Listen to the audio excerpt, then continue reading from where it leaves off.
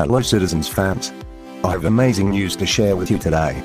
Manchester City is ready to compete with Manchester United for a La Liga star worth 40 million euros. But before the full news, subscribe to the channel and leave your like so you can receive the latest news from City here on the channel. Then Gabri Veiga, from Celta de Vigo, is being disputed by several Premier League teams, including Arsenal and Newcastle United, but Manchester City are the latest team to join the fray. With 9 goals and 4 assists in just 21 appearances in his debut season, Veiga is our player on the rise and could be the long-term option Manchester City need in the midfield.